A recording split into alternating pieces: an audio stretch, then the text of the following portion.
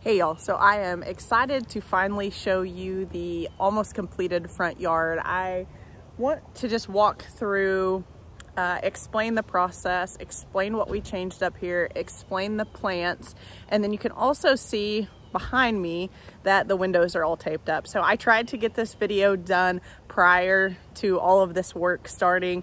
I know in a previous video I mentioned that we were going to be repainting in the spring. However, our painter who did our kitchen, who we trust and he is very, very good. And he said that he could get to it uh, before the weather got too cold. And so we went ahead and said, why not? We might as well do it. Let's just do it now, get it knocked out, and then we won't have anything to do in the spring other than some minor cosmetic things on the inside. And then obviously the planting of the flower beds in the back. So let me just turn around here and I will show you what the front looks like. We're not 100% done with it. There's just some perennials that I haven't been able to find thus far and I'm just not willing to budge on those plants because I want there to be some uniformity between this side over here and this side over here, at, at least as much as possible. So let me just turn around here and I will show you the front yard. I'll also talk to you uh, about the windows because I did, they have to take all of the storm windows off to obviously paint the windows. The windows and the panes were actually a different color than the trim and so we are going to go all the same color. We wanted everything to match and just not have two different two-tone colors. And so we're going all one color and they took the storm windows off and the storm windows will be painted as well because the storm windows are aluminum, which is something that you can no longer do here in the neighborhood. You can have storm windows, but they have to be approved by historic preservation and they have to be wood. These are grandfathered in because they are older. And let me tell you, our old house did not have storm windows and the windows here are single pane glass, wood, single pane glass, and you cannot change out your windows because again, we are in a historic preservation area. So these windows that you see on our house are original to the house themselves. And even if you do need a window replaced, you have to get a replica, a wood replica. Uh, and that also has to go through historic preservation, which I would never ever change any of the original windows, but the addition of the storm windows make a huge difference as far as draftiness and things like that. So we would never take those storm windows off. So we wanted to paint them to make them seem less noticeable per se. A lot of people have mentioned, you know, I really don't like the screens on the storm windows. And while we could take those off, it would be a pain. Our second story is really pretty high up there and even higher on that side of the house. So it's just a pain to take the screens off and put them back on because we do actually use them. We open our windows quite often and the screens are very, very beneficial. And I can't remember, I'll have to count, but we have a lot of windows. So changing out the storm windows to some newer maybe a little more sleek windows would cost a fortune. So we are just going to work with what we have. But let me just turn around. I'll show you the windows really quick and then we'll get to the front yard.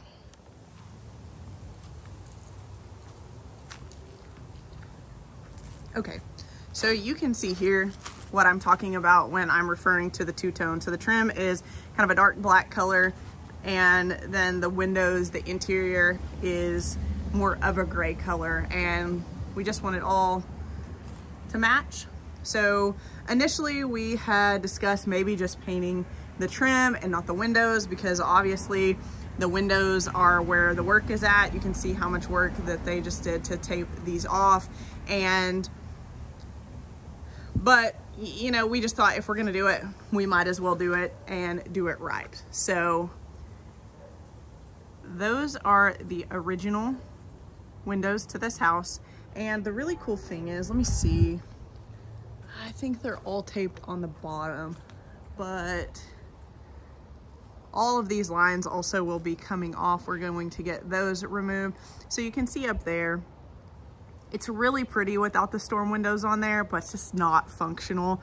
Um, I wish there was a better solution as far as storm windows go, but when you live in an old house, a 1932 house that has single pane windows, and you came from a 1938 house that had single pane windows with no storm windows, you really, really appreciate the storm windows. It also keeps everything a lot more quiet inside.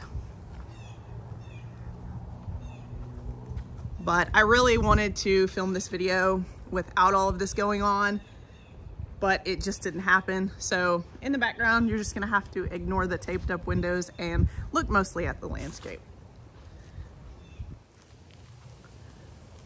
Okay, so for those of you that may have not watched previous videos, this edging, we put in all of this hardscape. So the edging, the boulders, the edging, for those that will ask, is Corten steel edging.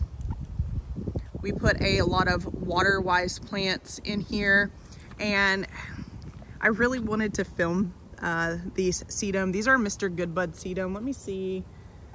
They look red. They just finished blooming. So they look red, but you can see right there where that butterfly is.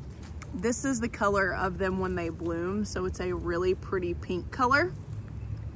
And that is going to kind of be the theme for this area. I want swaths of pink all throughout. This is a Nemorosa Rose Salvia and it's a really pretty pinkish purple color. And these things, since I put them in, so I bought, I think six or seven of them and that's all they had. I will be adding a lot more of those in the spring, but they have been blooming their heads off. Um, I've deadheaded a couple times since I put them in and they are blooming their heads off. And so this all is obviously going to have to grow in size. You can see there's obviously lots of space throughout the front flower bed, but the Mexican feathergrass, which you see right here, that will get pretty large and will fill in a lot of the void. The sedum will also get a bit wider, not much taller. That is a big reason why I picked the Mr. Goodbud sedum and it was strictly because it didn't get super tall and leggy. And then there's a lot of other salvia, like this is May Night salvia, so it's more of a true purple, what a lot of people would call blue. And then we've rearranged a lot of these boxwoods. So I wanted boxwoods that were kind of doubled up and up here you'll see some of them are tripled up actually. And I want to just form them into like one kind of mound, if you will. And so that's what I'll be going for on these. I did not prune any of these and we just transplanted them. I'm gonna let them totally get established until next spring. And then at that point, I will be deadheading. Uh, not deadheading, excuse me, pruning them. So a lot of people also ask about this hedge right here. Why are you leaving that? It doesn't look very good. And what is hard to see on some of these videos is the elevation that this massive oak provides the front yard. So when it rains really hard, we get a lot of wash off and this keeps a lot of that from going into our neighbor's driveway. If it were me, I wouldn't want to have a lot of dirt and debris in my driveway after it rained every time. So that is why we left that. And I actually added more here to keep everything from washing out. And then lamb's ear. Lamb's ear is one of my favorite. This is Helene von Stein. This will get pretty large and it will spread. It will also, I even hesitate to say semi-evergreen here because really it stays pretty green for me um, all year. I'll come out and prune it up just a little bit, get some of the tattered leaves off, but otherwise it's a very low maintenance plant and it's one of my favorites. So we can't obviously plant too close to there. We have the, the water main there, there is a drain right there, and then that rock sits on the sprinkler box valve. So there's a lot of stuff going on right there in that general area. So we couldn't plant too much there. Uh, I have some Veronica. Let me see if I can get pretty close here. It's kind of almost done blooming and it looks like a squirrel has been at it over here. Um, but that is, gosh, I will I will add the name to that. I can't remember exactly what variety of Veronica that is. I looked for a lot of pink Veronicas and hardly anybody had Veronica in that color. So they, they all had the purples and the blues and the whites, but nobody really had the pink. So I'll be on the search for those. Um, here, the dwarf bunny grass. So something that I wanted a lot of in this front yard was grasses. Some ornamental grasses that didn't get too large. You can see here how I kind of have like a pattern. It comes up and it comes over down there and it kind of, it's a swath of Mexican feather grass. I wanted to flank some of these rocks with this dwarf bunny grass because it's not gonna get a ton bigger than that and it has a lot of pretty seed heads on it. And I wanted a lot of those flanking the rocks. So actually those were very hard to find as well locally, but ended up finding them at Markham's Nursery.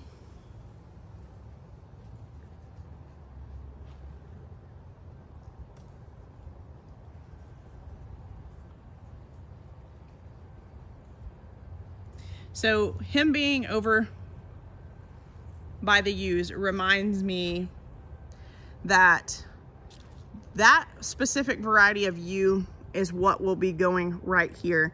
I've had a very hard time finding that.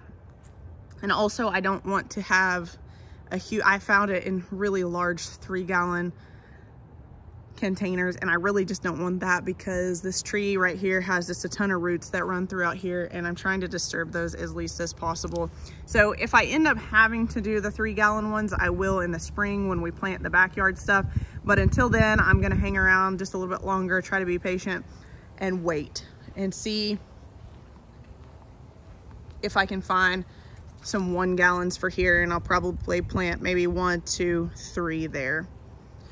And you can also see, let me come over here actually, we added some numbers. So that does have landscape lighting on it and we centered it up.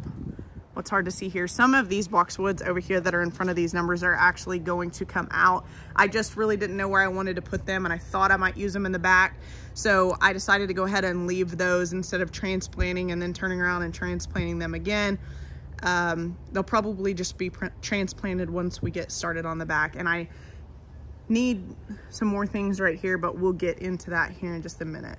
So I really debated on transplanting these hellebores. So these are white hellebores, and then there's some double hellebores that I planted. I'm not sure of the variety of the white ones. They were already here, but I'm going to give these a chance uh, because I did plant some little lime hydrangeas. You can see them all through there. And those get three to five feet high. I got that variety specifically because I like the lime green that the blooms are. I know they fade a little bit, but in my experience, I've had a little lime fade to a slighter pink color and not so much of a red color.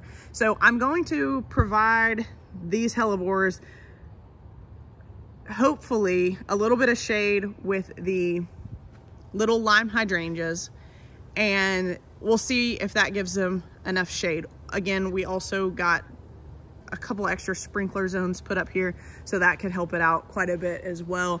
This space right here, kind of this general area gets very hot straight overhead sun because we just lack many trees right here. Not a lot of branches there. It's just kind of a wide open space. So we're gonna give those a chance and see how those do. You can see here that I have uh, three boxwoods together. I wanted it to kind of look cohesive from all angles. So here's three here, there's two here, there's one right here, and this was one of the boxwoods that was planted right next to another boxwood. It's it's kind of like they were planted together to create one to get it just a little bit bigger, a little bit faster.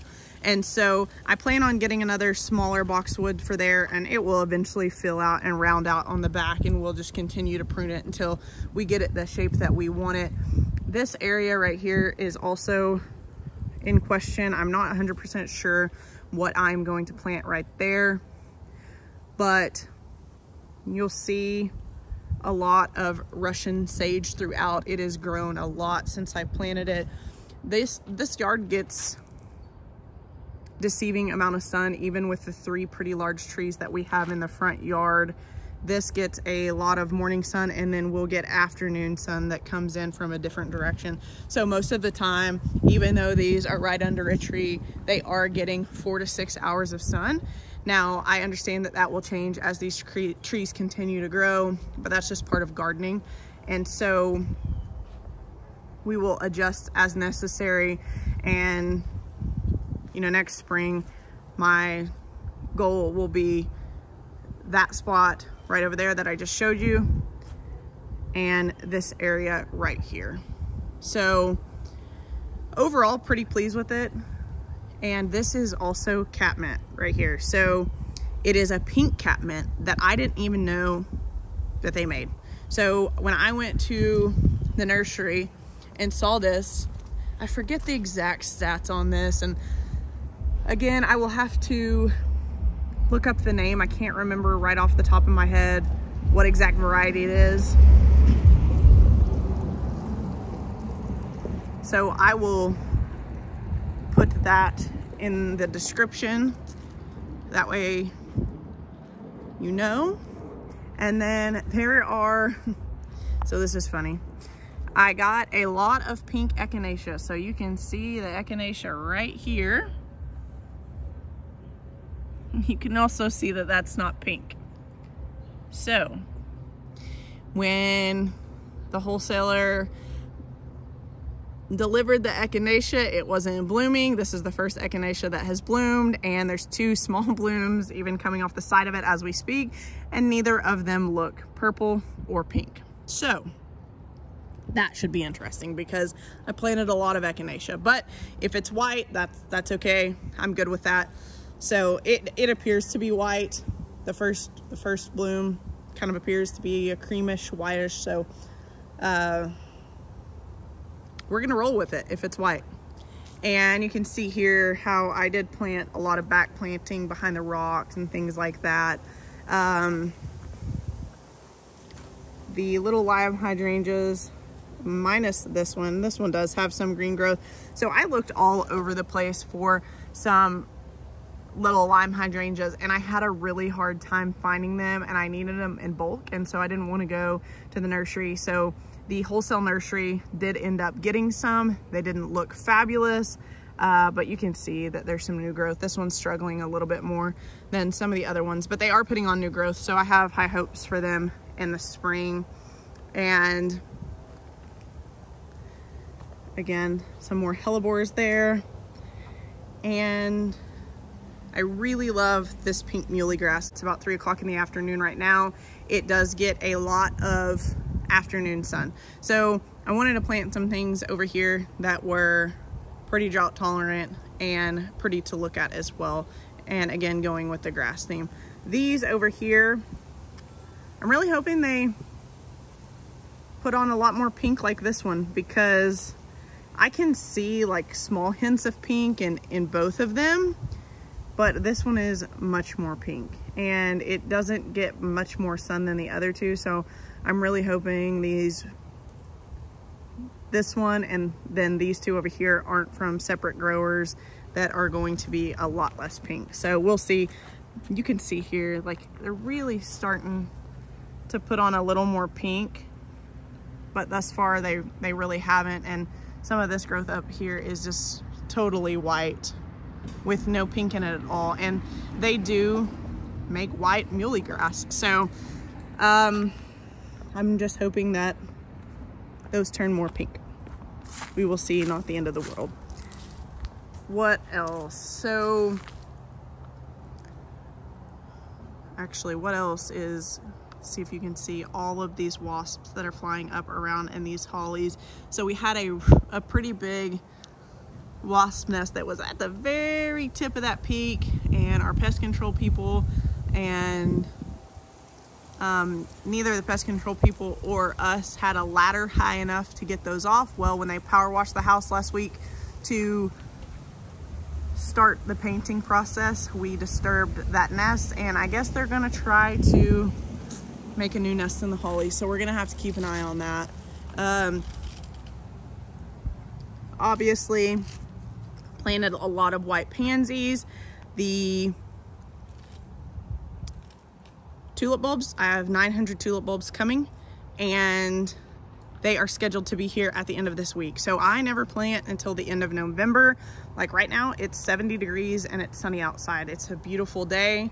And so I just prefer to plant at the end of November. I could have already done it, but I just prefer to wait because sometimes our weather can be so funky. Um, let's see. So the Pearl Glam Beauty Berry. Those are doing fantastic and they have put on a ton of growth. A lot of people had said, good luck with these. I haven't had much luck. They're kind of difficult but these have put on a ton of new growth and you can see here some of that purple veining that's already starting to show in their leaves that they do get full sun and they have a beautiful like purple pinkish berry and so I'm hoping that these do really well. When I got them, I actually ordered them online and you never kind of know what to expect as far as, you know, the health of the plant when, when you order it online and what it's gonna look like when it actually gets here. And they were a little bit beat up. So I planted one, two, and then there's a third one right here. So they do get pretty large. They get like three to five feet tall and wide. So it'll kind of just create a hedge a little bit on this side of the driveway. But I'm hoping that they do really good because they've put on a ton of growth so far. Like I said, they looked a little bit beat up when I received them in the mail. I almost immediately got them into the ground and they've put on just a ton of new growth. But I liked the Pearl Glam variety, obviously just for the color.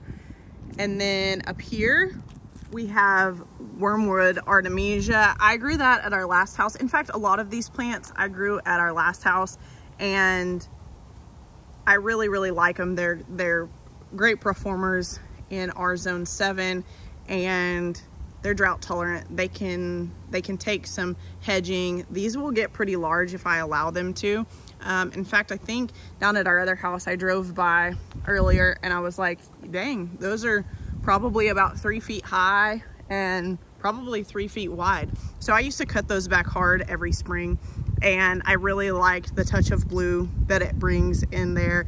But I really, you know, I'm going for a more simplified landscape just because this these flower beds are a lot. There is a lot of planting room in these flower beds. They're very large and I wanted I wanted to be able to take care of it with a sprinkler system when we're out of town and not burden someone with coming over here and watering for us because when you need someone to come over and water, it's typically the middle of the summer. And I don't like to ask people to do that because I don't even like to do that in the middle of the summer in my own yard. And so again, we work full time. Tommy and I both work full time as well. And we just had a lot of success with this combination of plants at our last house. And so we are going to give it a shot here as well and I think it will do just perfect. This is another Artemisia here and hopefully come spring it will look amazing with all of the tulips. I'll give you a hint, all of the tulips are the same color. There's three different varieties, but they're all the same color.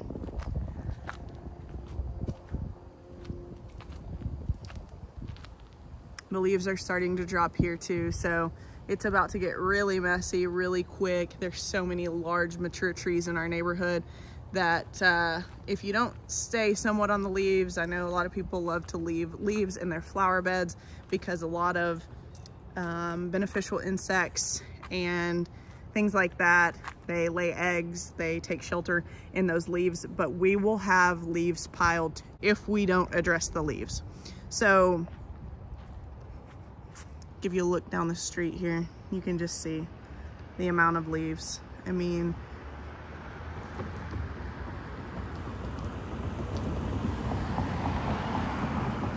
so Tommy stays on top of the leaves and then it's kind of easier to stay on top of them as we go instead of just waiting all at one time to clean up the leaves. So he does that typically on a weekly basis. Uh, so anyways, this is the tour of the front yard as it is currently. A few minor tweaks, uh, some additions come springtime. I'm really bummed that the Mr. Goodbud sedum is looking more red. It typically as I showed you earlier, is more of that pink color right there. And they look really good together. So I thought they were really pretty when they were both blooming in unison, but I do have some Autumn Joy Sedum too that I transplanted because if you remember, there was a big patch right on the other side of this big boxwood of Autumn Joy Sedum it got really, really leggy. So I cut it back hard and I transplanted it. One is right there and you can already see it starting to bloom. And I transplanted it in a couple other different spots and it is just already blooming. Sedum is such a tough plant. If you don't grow sedum, I would suggest getting some and trying it out in your own garden because it's just that good. Just make sure that you get a variety that Comes in a lot of different varieties, so make sure you get a variety that you're okay with the height and the color of the bloom. So some of them are a little bit more red. I prefer the pink ones, but, and the last thing here. So I am going to be putting more here. You can see I have some grasses. These grasses are pretty much at their mature size. They're really wispy. Uh, some of them are hard to see, some of them in the shade, but it just gives a little bit of extra texture back there to that wall without completely covering it up. I will be planting some lower evergreens. I don't know if I will go with boxwoods or if I will go with some yews to kind of tie in these yews when I get them and those yews and I like the texture of yews and they are a little bit of a deeper green typically. So I probably will get some yews to go back along there. And some of these are a little bit hard to see, but limelight hydrangea, one, two, three, four. Will, we decided to put those numbers there after we'd already planted this limelight hydrangea. So that one will probably have to move just a little bit, but that will happen during the spring. We were initially going to put the numbers right over here. So it's really hard when people are driving in our neighborhood, it's pretty dark at night and it's really hard for them to see. Uh, a lot of people don't have numbers on their house and so it's hard for them to really tell where they're at. And it's even more confusing at our house because we have this front door and we have this front door. And so if we have something delivered you never know where FedEx or DoorDash or anybody is going to deliver it. They get confused on the doors, but at least now they know that it is actually the right address.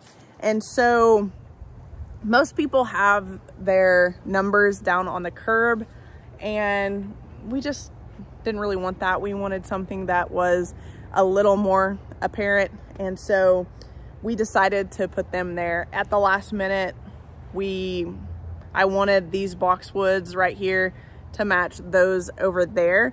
And so the numbers aren't exactly where we initially planned them, but there is a landscape light on them. And now it's very obvious where our house is to people who are delivering things. But that is all that I have for you guys today. I hope that you enjoyed this video. I should also point out that you can see here, the edging is really starting to patina. Um, I've let it patina naturally, but you can use a solution that patinas it almost instantly. I just chose not to. I just let it go and it will eventually all rust and it will blend in with the landscape as well as the color of the bricks on the house and it will almost be like it's not even there and it's it's really been a lifesaver as far as some of the washouts so we really used to have to get after some of the turf right along the edging uh, with the blower and kind of sweep some of that dirt that had ran off during heavy rains. And we just really got tired of doing that. So this edging was the perfect solution for that. And again, we had it in our other house. It's very pretty, it's durable, it lasts a long time. So we are glad that we did that. But that is all that I have. I hope you guys enjoyed it so much. If you wouldn't mind, I would love it if you would hit the like and subscribe button. Have a great rest of your day. Bye.